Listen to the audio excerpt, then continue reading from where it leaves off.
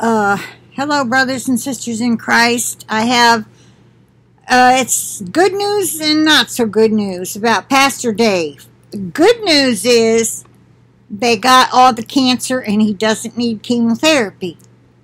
The bad news is, I'm going to read it to you. It's a short slideshow, so you don't have to go there. Uh, it says, Christy, his wife, put this together and it's beautiful. I'll put the link if you want to to go there. It says Pastor Dave is in critical condition. Let's see how to turn down his the music there. I'll just let you listen to it a little. Okay, it's pretty loud. Okay, Pastor Dave is in. Wait a minute, I got to back it up. Pastor Dave is in critical condition in the ICU. He developed complications after surgery, trouble breathing, dehydration, and ileus. Okay. That is when the bowels don't reactivate after surgery. So they're just kind of there, not doing their thing. Developed pneumonia in one lung and sepsis, which is a total body infection. It's, it's not good. But it can be cured. Uh, some people have survived it. He is now experiencing AFib. That's atrial fibrillation. Your heart is going too fast and it's in a very irregular beat. A cardiologist has been brought in to the team.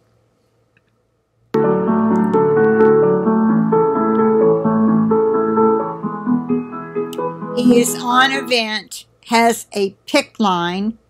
That's uh, where instead of a regular IV, they insert a line directly into a large blood vessel, and it has three lines coming out of it so that you can insert all kind of meds.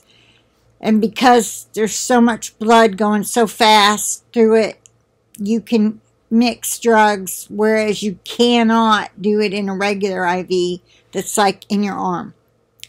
Okay, so he's got a PICC line and a tube to drain his stomach.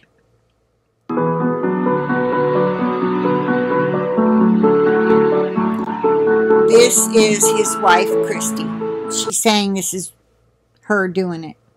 I have faith that God will deliver him out of this and he will recover.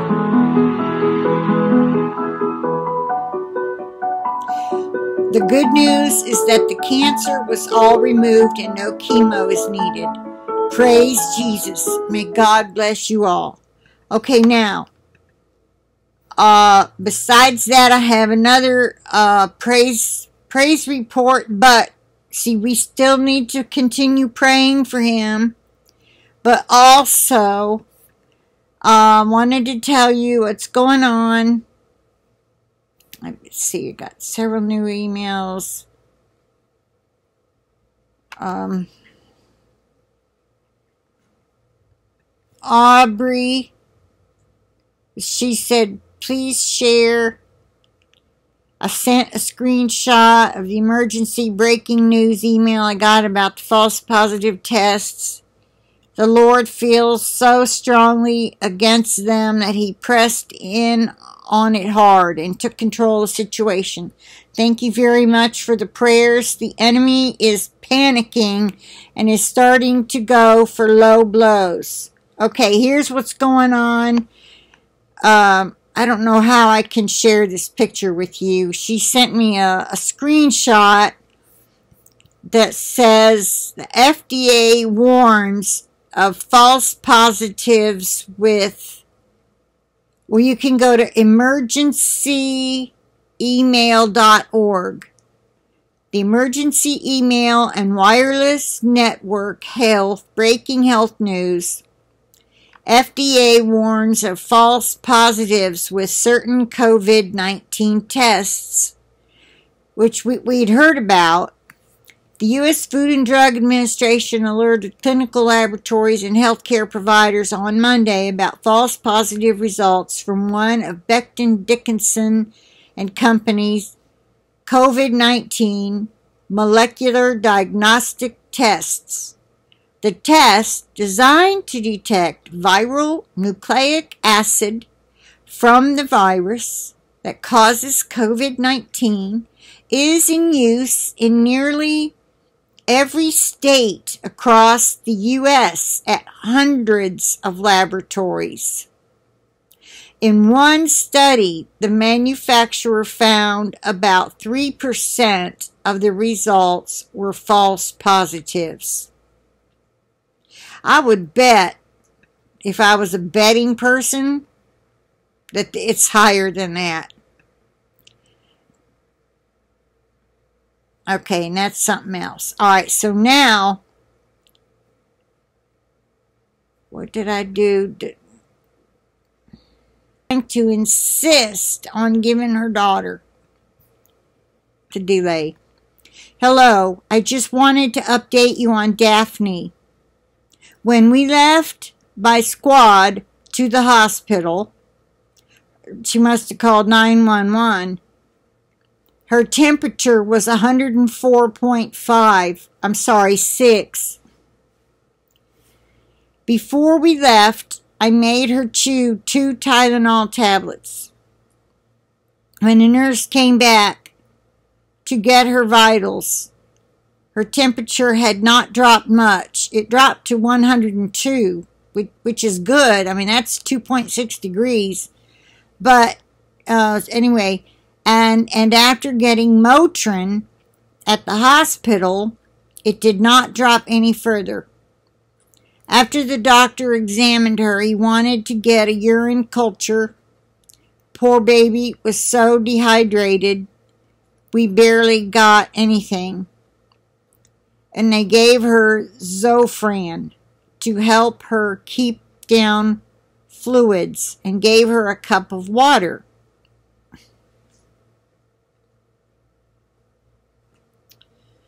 don't know why they didn't start an IV on that child. Children can get dehydrated so quickly. Anyway, he gave her a cup of water. He told me if she could keep down the water that we could go home because we were really worried about dehydration at this point. He even brought up about giving her a COVID 19 test. At first, I agreed because I wasn't thinking about what was being said. Later, he came in and said that they ordered the test, and then I heard the Lord tell me, Do not let them give your daughter that test. My face got red because I thought, Here we go. I'm going to have to oppose doctor's advice. Again, the Lord repeated himself, Child, do not let them give your daughter the test. I said to the doctor, What if I decide against it? He told me I could do what I wanted, but he highly recommended I do it because if because of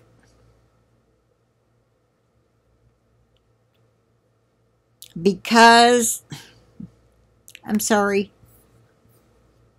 of she did uh, say at the end she apologized for the typos because she used the voice text. I don't know how you do that with email, but anyway, she was speaking this. So sometimes it doesn't quite understand what you're saying. So let me see what she might have meant here. I could do what I wanted, but he highly recommended I do it because of so they can control the infection and figure out who needs quarantined to control population spread. I told him I felt uneasy because of the reports from the WHO about all the false positives they had on COVID 19 about a month or two ago. He further tried to push the issue and said that all tests can have a false positive. urine tests, blood tests, etc. I came back at him and said, Yes, that's true, but COVID 19 had thousands of false positives. He berated me so much to the point where I said, Okay. But what was strange about me saying okay was in order to keep the peace. I felt like the Lord allowed me to okay it. And the reason why was because He had a plan. I felt so uneasy about the whole test thing. I just. I couldn't get past it. Hang in there. Um, not just a feeling, but because the Lord just told me not to allow it. Before the doctor left the room, he told me the COVID test that he was going to do, I guess she meant, come back with, and her urine culture would take a few days to come back with results. And I would get a phone call. When he left the room, I held my hand up towards my daughter and I said, Lord Jesus, whatever is on that COVID 19 test, I pray that you bind it in your mighty name. I declare that no weapon formed against Daphne will prosper in Jesus' name. Not even five minutes later, the doctor walks in the door and says, Well, we just had an interesting turn of events. Here's where the praise of the Lord comes in. He said,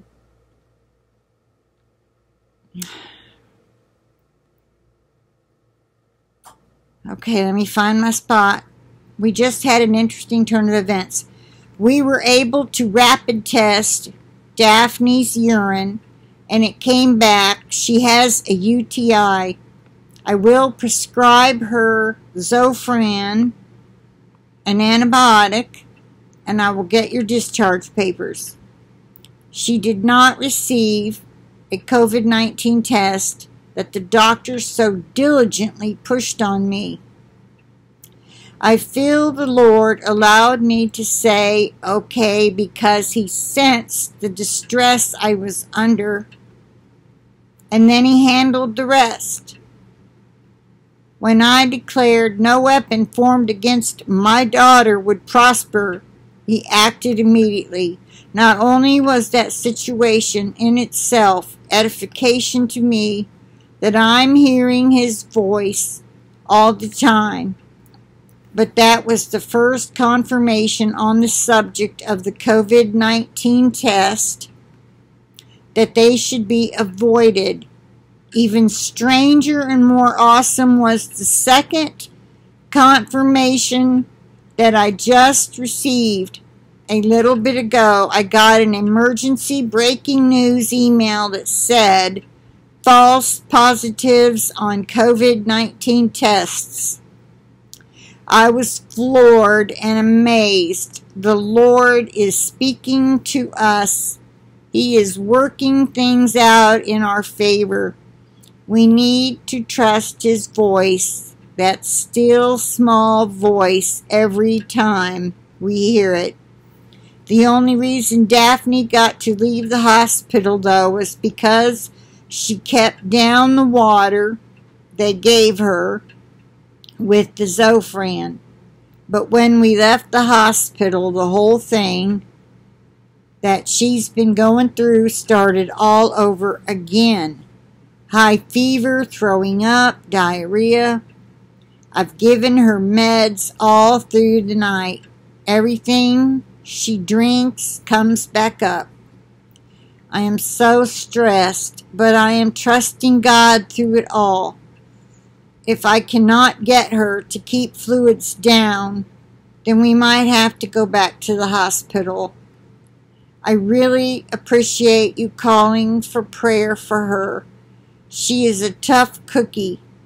This attack on her is a tough one, and it must be spiritual because I notice when I start rebuking and praying over her, it subsides for a little.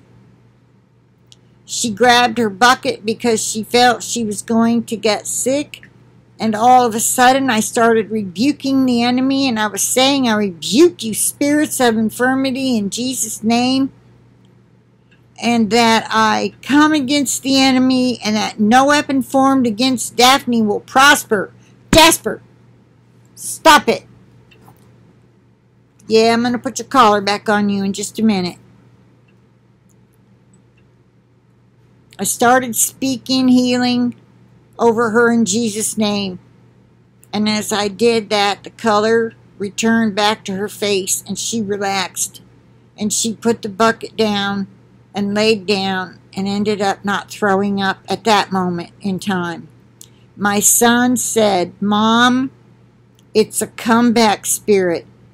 He explained to me what that was. He said those are the ones you have to keep fighting until they finally go. So I will keep fighting.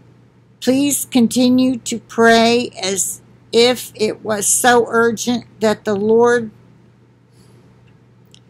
and if it was so urgent that the Lord spoke up so much against these tests, then please, people, heed the warning.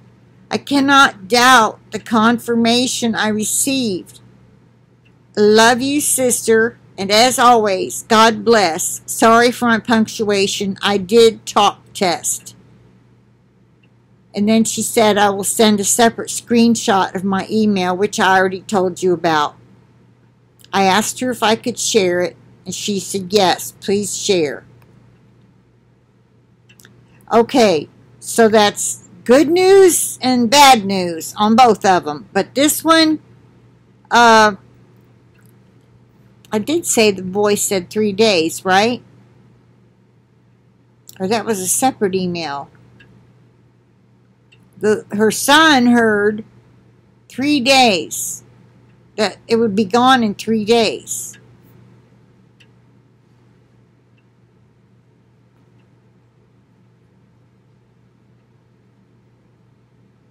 Yeah, that's not in this email. Okay, so um, let's keep praying for Daphne and Pastor Dave as we've got the good news. There's no no more cancer, no more. It's not a COVID nineteen, and she didn't have to take the test. So those are praise the Lord reports but she's still very sick, and Pastor Dave is still very sick.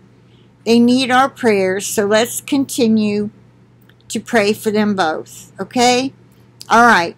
I plead the blood of Jesus Christ of Nazareth over them both and over Aubrey to give her strength to continue to take care of her while she's in this condition.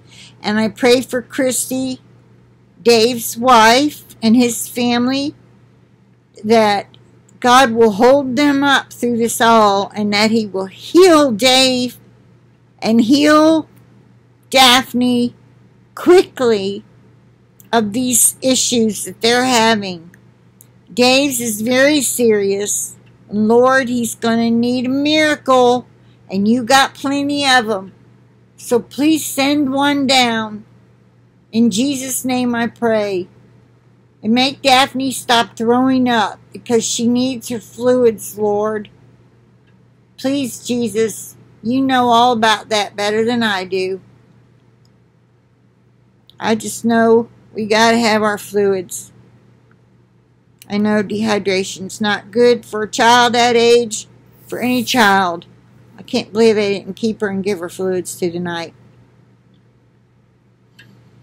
Good grief. Anyway, I'll say I plead the blood of Jesus over this video, myself, my computer, and my internet connection, and over each and every one of you and your devices and your internet connections. And with that, I'll say bye for now. I will talk to you later.